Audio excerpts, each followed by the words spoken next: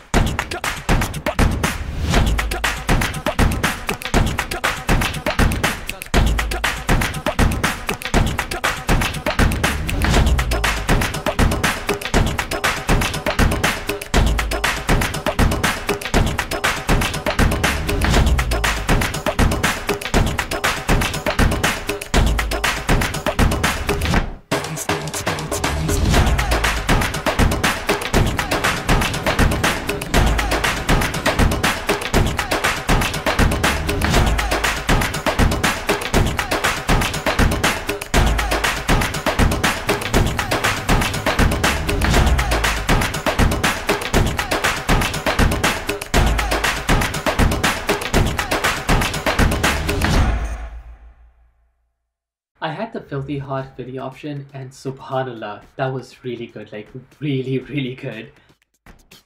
The bread was exactly how you wanted, soft, uh, buttery deliciousness. They had these uh, banana peppers and jardinieres. It wasn't like too spicy, it was perfectly uh, on spice level. But the meat, the seasoning, the, the way it was cooked, everything was perfect. And I'm really, really glad that I got a chance to try this place out.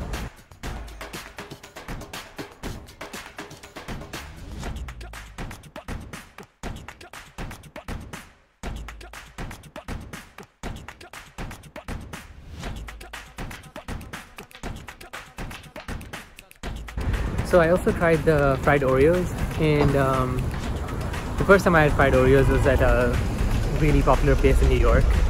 Um, this is a different take on it. Like the, the Oreo was a little more doughy. Uh, they had like sauces on top and stuff, and um, but it was still delicious. Like uh, if you haven't tried fried Oreos before, you probably want it. Um, but honestly, the reason you go there is the Philly cheesesteak. Um, I, I still can't get over the meat. It was so good. But here's the thing. Gibrano's in Chicago has good cheesesteak. I love the owners. The restaurant is one of my sanctuaries in Chicago. Philly Bros, however, has opened up my horizons. I've had Philly cheesesteaks at the famous Saad's in Philadelphia, and this was on par.